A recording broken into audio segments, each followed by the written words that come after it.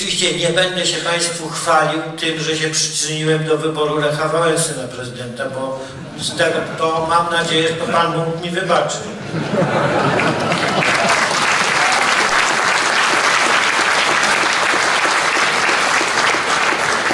Ale intencje miałem dobre, no.